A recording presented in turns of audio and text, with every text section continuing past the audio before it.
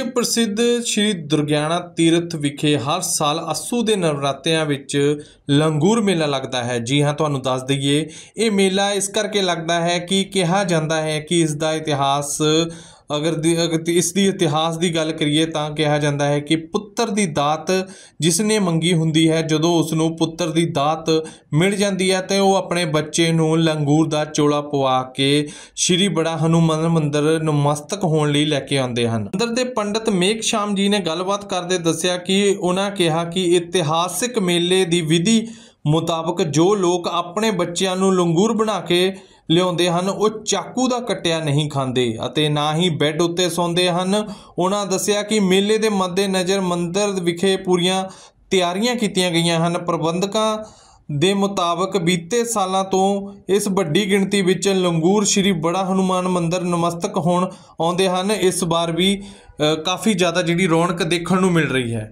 देखिए ये नवरात्रे कल से प्रारंभ हो रहे हैं और जो लंगूर बनते हैं ये बहुत ही यहाँ की प्राचीन प्रथा है। ये हनुमान जी का मंदिर है, बैठी हुई यहाँ पर मूर्ति है और रामायण काल से ये मूर्ति है। बहुत ही प्राचीन है।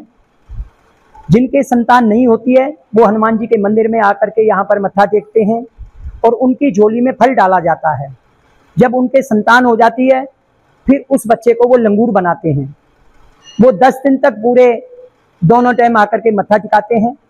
कल पहला नवरात्रा है कल सुबह से ही वो तीन बजे से ही आ जाते हैं और आकर के पहले पूजा कराते हैं।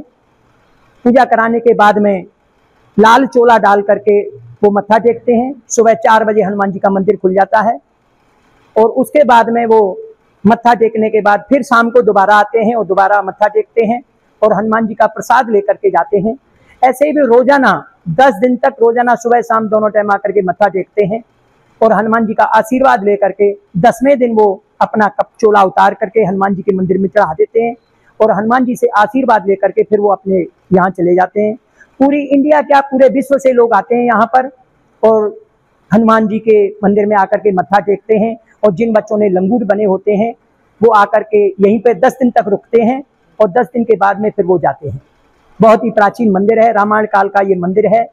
जब राम जी ने अश्वमेघ यज्ञ किया था, उस समय घोड़ा छोड़ा था तो लव कुश ने उस घोड़े को पकड़ा था। तो यहाँ पर जो वाल्मीकि जी का आश्रम है, थोड़े ही पास में है। और हनुमान जी यहाँ पर आए हैं तो राम जी की पूरी सेना के साथ लव कुश का युद्ध हुआ है। हनुमान जी ने उनके साथ युद्ध नहीं किया है।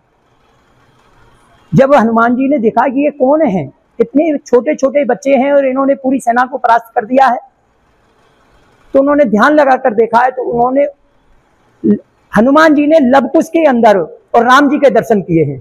तो उन्होंने कहा, ये तो साक्षात प्रभु का अवतार है। मैं इनके साथ युद्ध नहीं करूँगा। फिर उन्होंने हाथ जोड़ करके बैठ गए हैं और उनसे माफ़ी मांगी है। तो लवकुश ने कहा कि तुम बहुत चालाक हो। तो लवकुश ने उनको हनुमान जी को यहीं पर वृक्ष से बाँध दिया है। और तभी से ये बैठी मुद्रा में हनुमान जी की मूर्ति है। और कहीं पर भी ऐसी बैठी हुई नहीं है। तभी से ये मन्नत है कि जिनके संतान नहीं होती है तो हनुमान जी बच्चों पर प्रसन्न होते हैं और बच्चे को के रूप में फल दिया जाता है। उससे संतान होती है फिर उनको लंगूर बनाया जाता है और तभी से ये प्रथा चली आई है। बहुत प्राचीन प्रथा है रामायण काल से ये मंदिर जुड़ा हुआ है और तभी से ये हनुमान जी की यहाँ पर मन्नत है और सभी की मनोकामना वो पूरी करते हैं। सिर्फ़ अमृतसर का यही मंदिर है यहाँ पर लंगूर मेला हैं, हाँ जी हाँ जी हाँ जी। पूरे विश्व में यही एक मंदिर है जिसमें हनुमान जी बनाया जाता है जो लंगूर बनते हैं और कहीं पे भी ऐसे लंगूर नहीं बनाए जाते हैं। हाँ। बच्चे लंगूर बनते हैं जो बड़े मंडलियाँ भी होती है वो क्या है? नहीं नहीं। छोटे बच्चे तो लंगूर बनते हैं फिर उसके बाद में जब वो बड़े हो जाते हैं तो फिर वो बाना पहनते हैं बड़े हनुमान के रूप में बनते हैं। हनुमान जी के दास यानी सेवक जो होते हैं उनकी सेवा भाव में वो बनते हैं। वो फिर बनते हैं। ग्यारह मंदिर कमेटी उसकी ओर से कैसे पर क्योंकि कल हज़ारों की लाखों की तादाद में श्रद्धालु यहाँ पर आएँगे कैसे प्रबंध किए जाएँगे? नहीं नहीं कमेटी की पूरी व्यवस्था होती है यहाँ पे।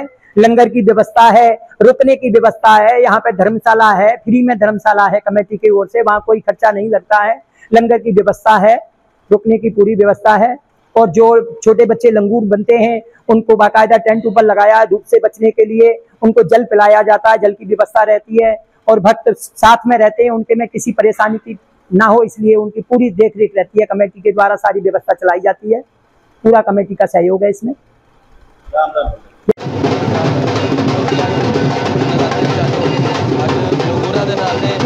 ਬਹੁਤ ਵੱਡਾ ਇੱਥੇ ਵੇਖਣ ਨੂੰ ਤੁਹਾਨੂੰ ਪਤਾ ਲੱਗ ਰਿਹਾ ਕਿ ਇੱਥੇ ਜਿਹੜੀ ਕਾਮਨਾ ਨਹੀਂ ਪੂਰੀ ਹੁੰਦੀ ਉਹ ਵੀ ਕਾਮਨਾ ਇਸ ਮੰਦਿਰ ਦੇ ਵਿੱਚ ਆ ਕੇ ਪੂਰੀ ਹੁੰਦੀ ਹੈ ਸਾਰਿਆਂ ਨੂੰ ਸੰਗਤ ਨੂੰ ਵਧਾਈ ਦਿੰਦੇ ਹਾਂ ਆਪਾਂ ਲੱਖ ਲੱਖ ਵਧਾਈ ਹੋਵੇ ਸਾਰੀ ਸੰਗਤ ਇੱਥੇ शर्मा कमलकांत शर्मा आए महामाई का रात्रों का चेहरे की आपको हार्दिक शुभकामनाएं सब पर कृपा रखे सब कृपा दृष्टि रखे करानी राधे मेहर करनी। करनाज प्रणाम कुल कितना हरिया प्रकार मुरली माँ ज्वाला जी माँ कमला देवी माँ, मनसा देवी माँ काली कलकत्ते वाली माँ मुंडा देवी माँ, पार्वती माँ, लक्ष्मण दिक्ष माँ, गौरा माँ, मनसा देवी माँ, बगला माता माँ हरी प्रकट कर रही करना है फिर बंदे बुंदे रखना। आशीर्वाद देना। करना है कोटि कोटि। ਮੇਰਾ ਨਾਮ ਰਾਘਵ ਹੈ ਜੀ। ਅੱਜ ਮੈਂ ਆਪਣੇ ਬੇਟੇ ਨੂੰ ਲੰਗੂਰ ਬਣਾ ਕੇ ਇਸ ਮੰਦਰ ਦੇ ਵਿੱਚ ਮੱਥਾ ਟੇਕਣ ਲੈ ਕੇ ਆਇਆ ਇਸ ਮੰਦਰ ਦੀ ਮਹਾਨਤਾ ਬਹੁਤ ਹੈਗੀ ਹੈ ਅਤੇ ਸੰਤਾਨ ਪ੍ਰਾਪਤੀ ਲਈ ਜਦੋਂ ਇੱਥੇ ਮਨੋਕਾਮਨਾ ਬੰਦੇ ਦੀ ਪੂਰੀ ਹੁੰਦੀ ਹੈ, ਤਾਂ ਬੱਚਿਆਂ ਨੂੰ ਆਪਣੇ ਲੰਗੂਰ ਬਣਾ ਕੇ ਮੱਥਾ ਟੇਕਣ ਲੈ ਕੇ ਆਉਂਦੇ ਆ ਜੀ।